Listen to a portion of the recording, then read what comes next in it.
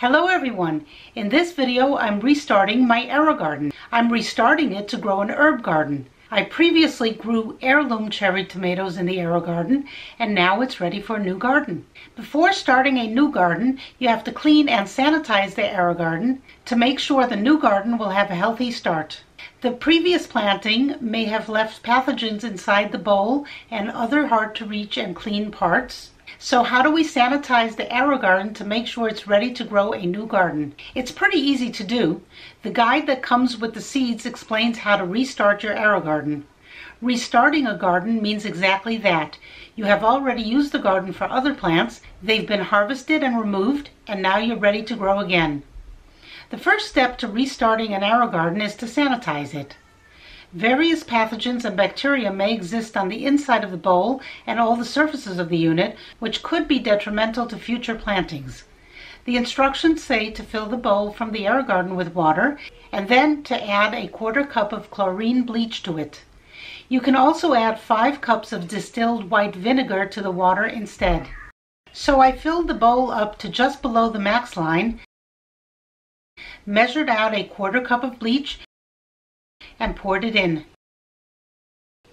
Then I plugged in the AeroGarden, put the lid on, and also covered the holes with the caps it came with. And then I let it run for five minutes. So now this has been running for five minutes, and you can see the pump working to circulate the chlorinated water. Now I unplug it, and then dump out the bowl of chlorinated water, and now fill up the bowl with fresh tap water and run it again for five minutes. This is like a rinse cycle to rinse out the chlorinated water. After five minutes, dump out the water and you're ready to restart your garden. I'm planting a new herb garden, so I need to reset the AeroGarden. There should be a button on your AeroGarden to do this. On mine, it's right here. You hold this button for two seconds to tell the machine that we're restarting. Then every two weeks it will remind you to put in fresh nutrients.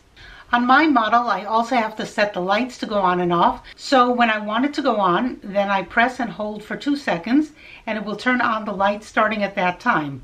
So you want to do that early in the morning the first time you set this. You can see here for herbs, the timer is set to keep the lights on for 17 hours and off for 7. Okay, I got up early today and I'm ready to start the new garden. First, I press the yellow select button in the center to select the type of garden I'm starting.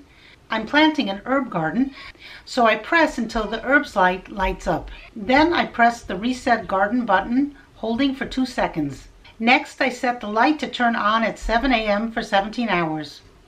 The next step is to fill the bowl with fresh water if you haven't already done that, and then to add nutrients to the water. The kit comes with AeroGarden liquid plant food. According to the AeroGarden instructions, you need to add two capfuls of the plant food at startup and then again every two weeks. I had already used up the food the planting kit came with on my last grow, and it is a bit pricey at $10 for three ounces, so I use the same hydroponic nutrients I use for my other hydroponic herb plants, the Grow Big hydroponic formula from Fox Farms. This is also $10, but for a pint rather than three ounces, and it works the same way. Just make sure if you buy the Grow Big to buy the hydroponic formula not the one for plants growing in soil. This one is made specifically for hydroponically grown plants. Shake the bottle well and then pour two teaspoons into a gallon of water and then shake that. It's that easy. Now I'm ready to plant my new garden. I'm planting the gourmet herb garden that originally came with the Aero Garden. This box is over a year old, so I hope the seeds will still germinate. If not, I'll put my own seeds in the pods.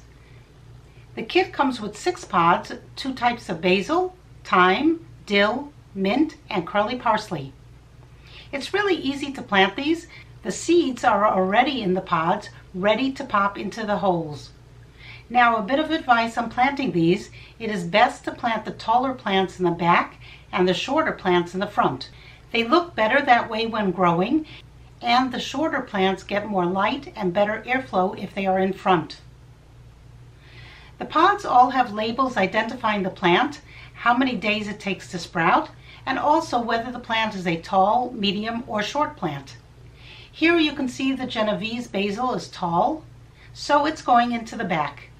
The curly parsley and thyme are short plants, so they should be placed in the front. After you're satisfied with how you place the plants, then you need to put the little plastic domes over the pods. These will keep the humidity and moisture high so the seeds have a good chance of germinating. You can remove the plastic domes once the plants sprout and reach the top of the domes. These domes came with the herb kit and some of them snapped right onto the pods and some of them didn't. No matter how much I twisted or turned, I couldn't get them to stay on. You can take some clear tape and tape it down. I've done that in the past, but it's a little frustrating that they don't all fit nicely. Make sure to push down the light to the lowest level and then push it up as the plants grow. These black plastic caps are to cover any unused holes, but I used up all the holes, so back in the box they go. Now it's 10 days later, and so far just the basil has sprouted. The others are taking longer to sprout. They may never sprout since the seed kit is over a year old. We shall see.